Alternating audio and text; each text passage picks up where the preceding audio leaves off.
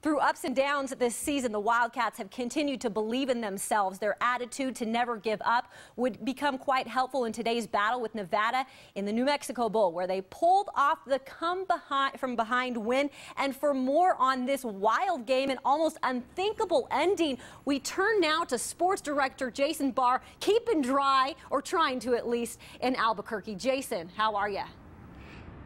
Good evening, Kayla. I'm doing just great. It has happened to be one of the greatest days of the University of Arizona Athletics. We saw the basketball highlights that you just showed to us, and of course, the football team with the improbable come from behind 49 48 win at the University of New Mexico behind me. They win the Gildan New Mexico Bowl by one point over Nevada. Let's take a look at those highlights.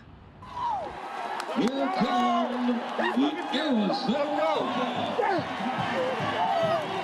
opening drive for Nevada results in an opening score. Wolfpack running back Stefphon Jefferson takes it in from 16 yards out, and the Wolfpack take a 7-0 lead. And then Arizona gets hit with a 1-2 punch. Nevada quarterback Cody Fajardo to Zach Sudfeld for a 28-yard scoring strike. That makes it 14 0. And after Arizona fumbled the kickoff and Nevada recovered, Fajardo to Sudfeld again. It's 21 0. Two touchdowns in 14 seconds. But Arizona answers. Late first quarter, All American running back Ka'Deem Carey with a 21 yard touchdown run that gets the Wildcats on the board, his first of three first half touchdowns. Wildcats were down 31 28 at halftime. Second half now, a breakdown in the Arizona defense. Fajardo to Richy Turner, who was uncovered. That made it 38 28. And then Fajardo, the quarterback who rushed for 143 yards, calls his own number and scores. That made it 45 28. But then the comeback. Arizona, 63 yard touchdown bomb from Matt Scott to Austin Hill. That cut it to 45 to 35. But Arizona was down 48 35 late. Here it is. Scott to Austin Hill. Under a minute to go. That's a touchdown. But Arizona is still down six. They've got to recover an improbable onside kick.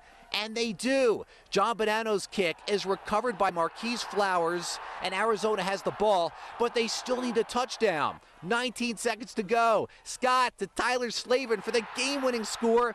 Arizona pulls off an amazing comeback. The Wildcats win the Gildan New Mexico Bowl 49 48 over the Nevada Wolfpack.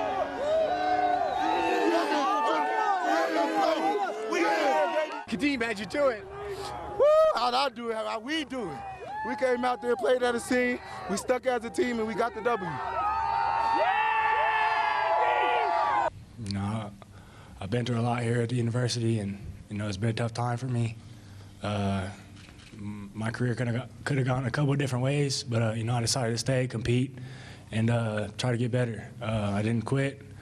You know, uh, there's a lot of perseverance on my part. It was hard at times, but you know I just kept pushing and kept fighting.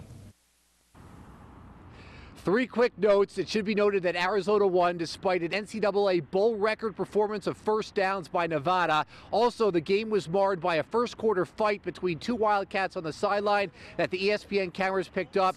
Tevin Hood and Cody Ippolito were both sent home after that altercation. And Again, Arizona winning at 49-48. The Wildcats finish 8 5 in Rich Rodriguez's first year as Wildcats head coach. Reporting live from Albuquerque, Jason Barr at 9 on your side. Kayla, back to you. Thanks so much, Jason, and great coverage all week long. I just can't keep saying how great of a day this has been for Arizona athletics. We'll be back with more.